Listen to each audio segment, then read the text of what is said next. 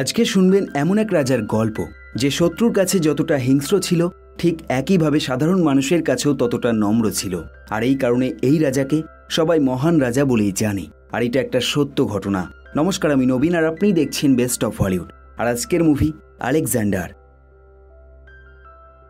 সময়টা হলো দুশো পঁচাশি খ্রিস্টপূর্বাব্দ, আর এটা সেই সময় যখন প্রত্যেকটা জায়গায় রাজাদের রাজত্ব চলত।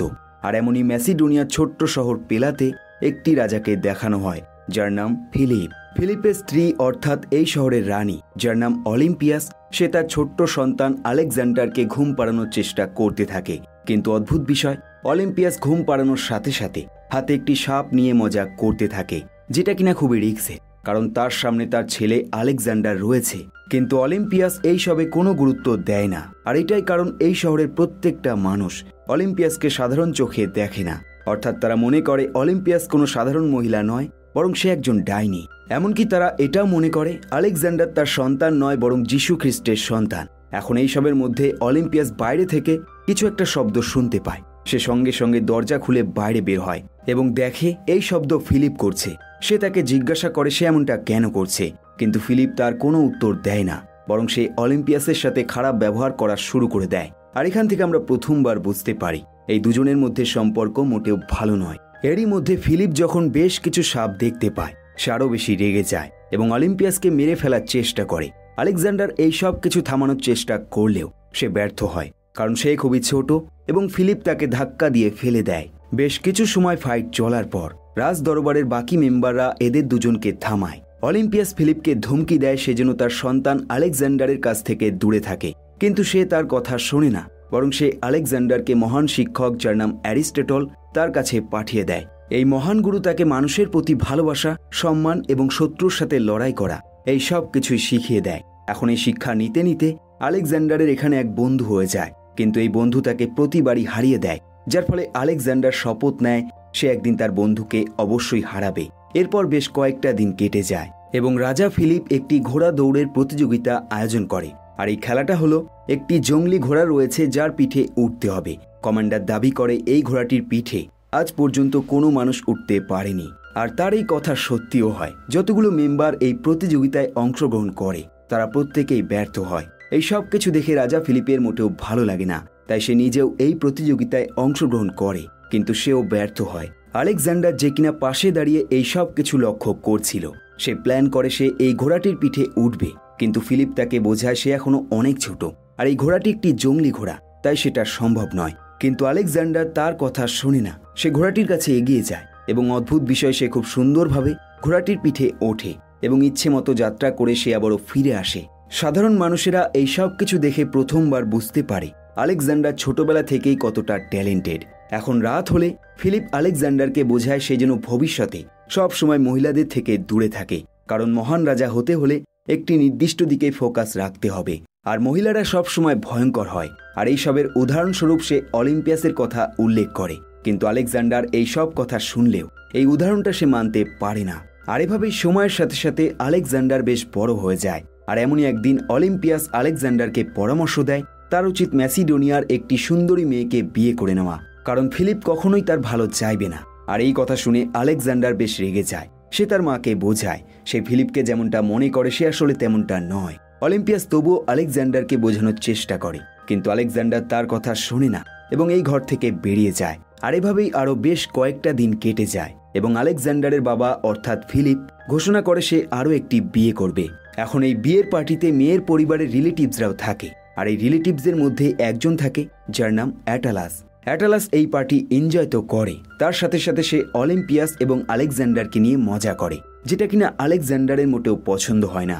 তাই সে সঙ্গে সঙ্গে একটি গ্লাস অ্যাটালাসের মুখে ছুঁড়ে মারে, আর এমনভাবেই এদের মধ্যে ফাইট শুরু হয়ে যায়। ফিলিপ তাদেরকে কোনো রকমে ঠেকায় এবং আলেকজান্ডারকে অর্ডার দেয় সে যেন অ্যাটলাসের কাছে ক্ষমা চায়। কিন্তু আলেকজান্ডার মুখের উপরেই না করে দেয় এবং এই ঘর থেকে বেরিয়ে যায়। ফিলিপ তাকে আটকানোর চেষ্টা করে, কিন্তু সে এতটাই নেশা করে থাকে, যার ফলে সে মাটিতে পড়ে যায়। এরপর বেশ কয়েকটা দিন কেটে যায় এবং ম্যাসিডোনিয়ার শহরের প্রত্যেকটা মানুষ বিরোধ করতে শুরু করে দেয়। শুধুমাত্র আলেকজান্ডারের মতো এত অল্প বয়সের ছেলেকে রাজা হতে দেখে, কিন্তু অদ্ভুত বিষয় এই বিরোধের কিছু দিনের মধ্যেই। রাজা ফিলিপকে কেউ মেরে ফেলে। সাধারণ মানুষ বুঝতে পারে না এই মার্ডারের পিছনে আসলে কে রয়েছে। কেউ কেউ মনে করে এর পেছনে রয়েছে অলিম্পিয়াস। আবার কিছু মানুষ মনে করে এই কাজ রাজার কোনো শত্রু করেছে। কিন্তু কেউই কোনো সঠিক ব্যাখ্যা দিতে পারে না, যার ফলে বাধ্য হয়ে কুড়ি বছর বয়সের ছেলেটিকে, অর্থাৎ আলেকজান্ডারকে, তারা রাজা মেনে নেয়। এখন এই খবর জানতে পেরে পার্শ্ববর্তী দেশগুলো জেগে ওঠে। তারা মনে করে কুড়ি বছর বয়সের ছেলেটিকে তারা খুব সহজেই হারিয়ে দেবে।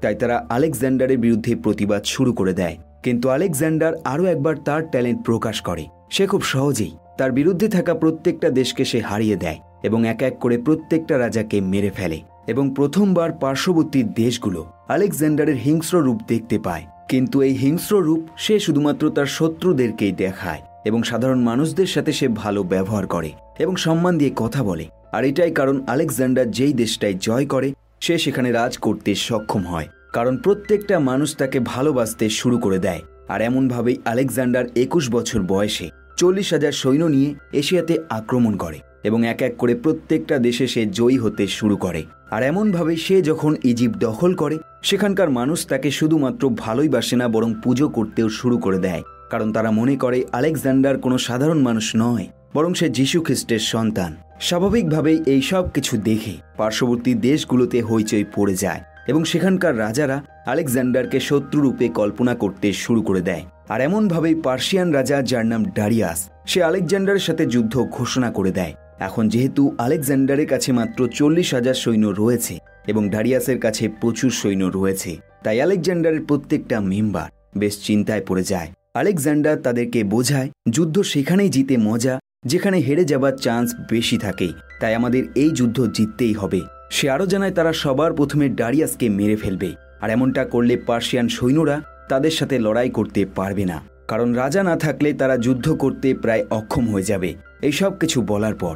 আলেকজান্ডার প্রত্যেককে সান্ত্বনা দেয়, তারা অবশ্যই জিতবে। এরই মধ্যে পাশে থাকা তার ছোটবেলার বন্ধু, যার নাম হেপাস্টিয়ান, সে আলেকজান্ডারকে বলে, আমার কেন জানি মনে হচ্ছে তুমি এই যুদ্ধটা জিতে যাবে, কিন্তু এই যুদ্ধটা তোমার জীবনের সবচেয়ে বড় যুদ্ধ হবে। আলেকজান্ডার তাকে জানায়, যতই বড় যুদ্ধ হোক, তুমি যদি পেট্রো ক্লাসের মতো আমার সাথে থাকো, তবে অবশ্যই এই যুদ্ধ আমরা জিতে যাব। আসলে পেট্রো ক্লাস এবং আকিলিস, এরা দুজন একই রকম বন্ধু যেমনটা হেপাস্টিয়ান এবং আলেকজান্ডার। কিন্তু হেপাস্টিয়ান যখন জানায় পেট্রো ক্লাস সবার প্রথমে মারা গিয়েছিল, যার অর্থ হলো সেও সবার আগে মারা যাবে, তখন আলেকজান্ডার তাকে বলে, যদি এমনটাই হয়, তবে আমিও আকিলিসের মতোই তোমার মৃত্যুর পরের জীবনেও তোমার সাথে থাকব। পরের দিন সকালে আলেকজান্ডার একটি কালো সারকে বলি দেয়, আর এমনটা করার কারণ হলো যুদ্ধের আগে এই বলি দেওয়াটাকে শুভ বলে মনে করা হয়। এই সব কিছুর পর আলেকজান্ডার তার চল্লিশ হাজার সৈন্যের সাথে কথা বলে এবং তাদের মনের সাহস বাড়িয়ে দেয়। সৈন্যরাও আলেকজান্ডারের কথা মন দিয়ে শোনে। এবং তাদের ভালো লাগে, কারণ বেশ কয়েক বছর ধরে এই সৈন্যরাই আলেকজান্ডারের সাথে রয়েছে এবং একাধিক যুদ্ধ জিতে এসছে, তাই তাদের কনফিডেন্ট আরও বেড়ে যায়। আলেকজান্ডার আরও বলে, এই যুদ্ধে যদি আমরা হেরেও যাই, তবু আমরা শেষ নিঃশ্বাস পর্যন্ত এই যুদ্ধ চালিয়ে যাব। আর এই বলে আলেকজান্ডার তার সৈন্য নিয়ে ডারিয়াসের উপর অ্যাটাক শুরু করে দেয়। আলেকজান্ডারের সৈন্যরা দ্রুততার সাথে ফাইট শুরু করে দেয়, আর এমনভাবেই বেশ কিছুক্ষণ ফাইট চলার পর আলেকজান্ডার ডারিয়াসকে খুঁজে পায়। আলেকজান্ডার সঙ্গে সঙ্গে ডারিয়াসকে লক্ষ্য করে এগিয়ে যায়, কিন্তু ডারিয়াস সেখান থেকে পালিয়ে যায়। এরই মধ্যে একটি সৈন্য আলেকজান্ডারকে জানায়, তার বাবা এই যুদ্ধে অসুস্থ হয়ে গেছে, তাই তাকে হেল্প করতে হবে। যদিও আলেকজান্ডারের ইচ্ছে ছিল সে ডারিয়াসকে মার্ডার করবে, কিন্তু এই কথা শুনে সে থেমে যায় এবং বাধ্য হয়ে পুনরায় ফিরে যায়। এখন বিকেল হলে আলেকজান্ডারের চোখে জল চলে আসে, যখন সে দেখে চল্লিশ হাজার সৈন্যের মধ্যে বেশিরভাগ সৈন্যই এই যুদ্ধে মারা গেছে। এরপর বেশ কয়েকটা বছর কেটে যায় এবং আলেকজান্ডারের বয়স হয়ে যায় পঁচিশ বছর। সে ব্যাবিলনের রাজা হয়ে যায়, যেখানে সে ভালোবাসার ধন সম্পত্তি সব কিছুই পায়। আলেকজান্ডারের সেনাপতি এই সব কিছু দেখে সে তার লোভ সামলাতে পারে না, বরং আলেকজান্ডারকে পরামর্শ দেয় তাদের উচিত এই ধনসম্পত্তি নিয়ে এখান থেকে পালিয়ে যাওয়া। আলেকজান্ডার তাকে বোঝায় তারা এই পরিস্থিতিতে এসছে একটাই কারণ, সেটা হলো সততা। তাই সব কাজ তারা করতে পারে না। সে আরও জানায়, ডারিয়াস যাকে সে মারতে চেয়েছিল, সে এখনও জীবিত রয়েছে এবং এশিয়াতে রাজ করছে। তাই আলেকজান্ডার ডারিয়াসকে মার্ডার করার প্ল্যান বানাতে শুরু করে দেয়। আর ঠিক তখনই আলেকজান্ডারের সাথে দেখা করতে একটি মেয়ে তার রাজ দরবারে প্রবেশ করে। আর এই মেয়েটি আর কেউ নয়, স্বয়ং ডারিয়াসের একমাত্র কন্যা যার নাম স্যাটেরিয়া। মেয়েটি আলেকজান্ডারের কাছে তার বাবার জীবন ভিক্ষা চায়। সে তার কাছে রিকোয়েস্ট করে, সে যেন তার বাবাকে ছেড়ে দেয়। আলেকজান্ডার তার কথায় বেশ ইমোশনাল হয়ে যায় এবং তাকে জানায় সে এখানে এসছে তার ফ্যামিলির কোনো ক্ষতি করতে নয়, বরং সাধারণ মানুষকে সাহায্য করতে। তাই তার চিন্তার কোনো কারণ নেই। এখন আলেকজান্ডারের মুখে এই কথা শুনে আলেকজান্ডারের বাকি সৈন্যরা অবাক হয়ে যায় এবং বুঝতে পারে তাদের রাজার মনে মনুষ্যত্ব জিনিসটা কত বেশি পরিমাণে রয়েছে। এখন রাত হলে আলেকজান্ডার একটি চিঠি পায়, যেটা কিনা তার মা তার কাছে পাঠিয়েছে। চিঠিতে অলিম্পিয়াস জানতে চায় সে কেন তিন মাস ধরে ব্যাবিলনে রয়েছে, কারণ সে পেলাতে শত্রুদের মধ্যে ভয় ভয় জীবন কাটাচ্ছে। অলিম্পিয়াস আরও লেখে, ব্যাবিলনের মানুষরা মোটেও ভালো নয়। তারা অনেকটা সাপের মতো, যার কারণে যখন তখন তার বিরুদ্ধে চলে যেতে পারে। সবশেষে সে এটাও জানায়, একজন খারাপ মানুষই অন্য একটি খারাপ মানুষকে চিনতে পারে। কিন্তু আলেকজান্ডার এই লেটারের কোনো গুরুত্ব দেয় না। তার কাছে পুরোটাই অদ্ভুত বলে মনে হয়। তাই সে তার যাত্রা শুরু করে দেয়। অর্থাৎ পরের দেশ আক্রমণ করার জন্য বেরিয়ে পড়ে। রাস্তার মাঝে তার এক সৈন্য তাকে জানায়, ডারিয়াস খুব আহত অবস্থায় পড়ে রয়েছে এবং সে জল চাইছে। সৈন্যরা ভালোভাবে জানে ডারিয়াস আর বাঁচবে না, তাই সে এই ব্যাপারে আলেকজান্ডারকে জানায়। আলেকজান্ডার এই খবর পেয়ে বেশ অবাক হয়ে যায়, কারণ সে চেয়েছিল ডারিয়াসকে আর মারবে না, কিন্তু সে এই মুহূর্তে মরতে চলেছে, যার অর্থ হলো তার সৈনিকরা তার সাথে বিশ্বাসঘাতকতা করেছে এবং লুকিয়ে তারা তাকে মেরে ফেলেছে। আলেকজান্ডার শপথ নেয় সে এই বিশ্বাসঘাতক সৈন্যদেরকে অবশ্যই মেরে ফেলবে, তাই সে তার যাত্রা শুরু করে দেয়। তারা সবার প্রথমে অক্সাস নদীর পাশ দিয়ে শোকদিয়া শহরে পৌঁছায়। যেখানে গিয়েও আলেকজান্ডার তার যুদ্ধ কন্টিনিউ করে এবং সেই দেশটাকে সে নিজের দখলে করে ফেলে। এখন বিকেল হলে আলেকজান্ডারের সহযোগীরা তাকে জানায় তারা বর্তমানে এশিয়া এবং ইউরোপের বর্ডারের মাঝে রয়েছে, যার অর্থ হলো তারা অনেকটা পথ অতিক্রম করে ফেলেছে। কিন্তু আলেকজান্ডারের এই সবে কিছুই যায় আসে না, তার লক্ষ্য একটাই, আর সেটা হলো তার জীবন যতক্ষণ আছে, সে ততক্ষণই এই লড়াই করে যাবে এবং প্রত্যেকটা দেশের থেকে তার শত্রুদেরকে সে মেরে ফেলবে। তাই সে তার যাত্রা কন্টিনিউ চালিয়ে যায়। আর এমনই একদিন রাত হলে আলেকজান্ডার এবং তার সহযোগীরা একটি ছোট্ট গ্রামে আশ্রয় নেয়, যেখানে একাধিক মানুষ তাদের জীবনটাকে সুন্দর করার জন্য নাচ গানের অনুষ্ঠান আয়োজন করেছে। আলেকজান্ডার লক্ষ্য করে, এই নাচ গানের মধ্যে একটি মেয়ে রয়েছে যার নাম রক্সানা। সে তার দিকে বারবার তাকাচ্ছে। একইভাবে আলেকজান্ডারেরও বেশ পছন্দ হয়ে যায়, তাই সে প্ল্যান করে সে রক্সানাকে বিয়ে করবে। এই কথা শুনে আলেকজান্ডারের সহযোগীরা বেশ অবাক হয়ে যায়। তারা তাকে জিজ্ঞাসা করে সে এমনটা কেন করবে। কারণ রক্সানা খুবই সাধারণ একটি মেয়ে, আর আলেকজান্ডার ম্যাসিডোনিয়ার বর্তমান রাজা। আর এমনটা করলে ম্যাসিডোনিয়ার বদনাম হবে। আলেকজান্ডার এই সব কিছু শুনেই যায়, এবং এক কথায় উত্তর দেয়, সে একটি সন্তানকে চায়, যে তার এই সাম্রাজ্য ভবিষ্যতে এগিয়ে নিয়ে যাবে। যদিও সহযোগীরা এর বিরোধ করে, কিন্তু আলেকজান্ডার তার এই প্ল্যান বদলায় না, এবং সকাল হতেই সে রক্সানাকে বিয়ে করে নেয়। বেশ কিছু সময় পর, একজন গার্ড আলেকজান্ডারকে কিছু খেতে দেয়। আলেকজান্ডার খাবারটা মুখের সামনে নিলে সে অনুভব করে এর মধ্যে বিষ মেশানো রয়েছে, যেটা দেখে সে বেশ চমকে যায় এবং প্রথমবার বুঝতে পারে তার কাছের মানুষরাই তাকে মারতে চায় এবং এর মধ্যে তার প্রিয় বন্ধু, যার নাম ফিলোটাস, সেও রয়েছে। ফিলোটাস হাজার রকম চেষ্টা করে নিজেকে নির্দোষ প্রমাণ করার জন্য, কিন্তু সে ব্যর্থ হয়, কারণ আলেকজান্ডার অতটা বোকা নয় যে কোনটা মিথ্যে এবং কোনটা সত্যি, সেটা সে বুঝতে পারবে না।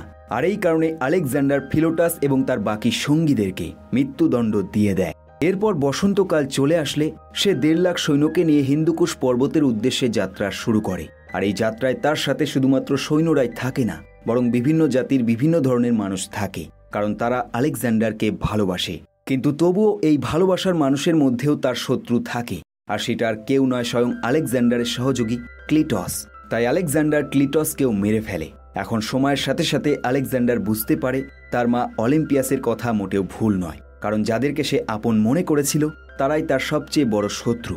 এই ঘটনাতে আলেকজান্ডারের মন বেশ ভেঙে যায়, কিন্তু তবুও সে থামে না। সে এবার তার সৈন্যদেরকে নিয়ে প্রথমবার ইন্ডিয়াতে অ্যাটাক করে, যেখানে তার সাথে রাজা পোরাসের যুদ্ধ হয়। আর এই যুদ্ধটা হয় পাঞ্জাবের ঝিলাম নদীর পাশে, যাকে আমরা হিদাস পাশের যুদ্ধ নামেও চিনি। কিন্তু এই যুদ্ধ করতে গিয়ে আলেকজান্ডারের বেশ সমস্যা হয়, কারণ তার কাছে থাকে ঘোড়া এবং রাজা পোরাসের কাছে থাকে হাতি, যার ফলে প্রথমবার আলেকজান্ডারের বুকে তীর লাগে। এবং সে বেশ আহত হয়ে যায়। যদিও ওই তীরে তার মৃত্যু হয় না এবং সে পুনরায় ব্যাবিলনে ফিরে আসে। ব্যাবিলনের প্রত্যেকটা মানুষ তাদের রাজাকে পুনরায় দেখতে পেয়ে খুব খুশি হয়ে যায়, কারণ তাদের রাজা প্রায় ছয় বছর পর ব্যাবিলনে ফিরছে। আলেকজান্ডারও ব্যাবিলনের প্রত্যেকটা মানুষকে আপন করে নেয়, কারণ সে জানে এই যুদ্ধে এবং তার কারণে কত মানুষ মারা গেছে। কিন্তু এই মৃত্যু এখানেই থামে না। সে হঠাৎই জানতে পারে তার প্রিয় বন্ধু হেপাস্টিয়ান খুবই অসুস্থ হয়ে গেছে। রাজা বুঝতে পারে না এর কারণ কি। সে সঙ্গে সঙ্গে তার সহযোগীকে এই ব্যাপারে জিজ্ঞাসা করে এবং তার সহযোগী তাকে অনুমান করে বোঝায়, হয়তো ইন্ডিয়ার আবহাওয়া তাদের শ্যুট করেনি এবং সেখান থেকে কোনো ভাইরাস তাদের শরীরে ঢুকে গেছে। যদিও এই কথা আলেকজান্ডারের পছন্দ হয় না, তার মনে সন্দেহ থেকেই যায়। সে মনে করে এই মৃত্যুর পেছনে তার স্ত্রী রয়েছে, তাই সে রক্সানাকে মেরে ফেলার চেষ্টা করে। কিন্তু রক্সানা যখন জানায় সে বর্তমানে প্রেগনেন্ট তখন আলেকজান্ডারের মায়া হয় এবং সে রক্সানাকে ছেড়ে দেয়। কিন্তু সে শপথ নেয় সে আর তার স্ত্রীর সাথে কোনো সম্পর্ক রাখবে না। তাই সে তার স্ত্রীকে ছেড়ে চলে যায়। কিন্তু দুর্ভাগ্যবশত আলেকজান্ডারের ঠিক একই রোগ হয় যেমনটা হেপাস্টিয়ানের হয়েছিল, যার ফলে মাত্র বত্রিশ বছর বয়সে সে মারা যায়। কিন্তু মারা যাবার আগে আলেকজান্ডার তার সেনাপতিদের বলে যায়, তার এই সাম্রাজ্য তার সবচেয়ে দক্ষ সেনাপতি সামলাবে, যার ফলে প্রত্যেকটা সেনাপতি একে অপরের সাথে ফাইট শুরু করে দেয়। শুধুমাত্র এই সাম্রাজ্যের দায়িত্ব নেবার জন্য। যার ফলস্বরূপ এই পুরো সাম্রাজ্য চার ভাগে ভাগ হয়ে যায়। আলেকজান্ডার যে মাত্র কুড়ি বছর বয়সে রাজা হয় এবং বত্রিশ বছর বয়সে মারা যায়, অর্থাৎ বারো বছরের রাজত্বকালে সে পুরো বিশ্বে রাজ করতে শুরু করে দেয়। এমনকি আলেকজান্ডার তার এই বারো বছরের রাজত্বকালে সে একটিও যুদ্ধ হারেনি, আর এটাই সবচেয়ে বড় কারণ তাকে মহান রাজা বলা হয়। আর এখান থেকে আমরা একটা জিনিস বুঝতে পারি, মানুষের জীবন বত্রিশ বছরের হোক অথবা একশো বছরের, তাতে কিছু যায় আসে না। বরং যেটা গুরুত্বপূর্ণ সেটা হলো কর্ম। কারণ মানুষ চিরজীবন বেঁচে থাকে না, কিন্তু তার কর্ম মানুষের মনে চিরজীবন বেঁচে থাকে। আর এই মুভিটা এখানে শেষ হয়ে যায়। কমেন্ট করে জানাতে পারেন আপনার মতামত। সবশেষে ধন্যবাদ আপনাকে। ভিডিওটি শেষ পর্যন্ত দেখার জন্য। আবার দেখা হবে নতুন ভিডিওর সাথে নতুন গল্পের সাথে। দেখতে থাকুন বেস্ট অফ হলিউড।